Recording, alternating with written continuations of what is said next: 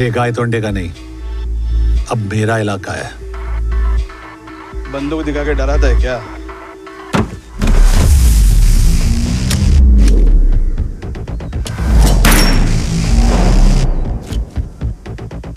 बंदूक तो सिर्फ़ शौक के लिए रखता हूँ। डराने के लिए नाम ही काफ़ी है। राव। अमर्त्य राव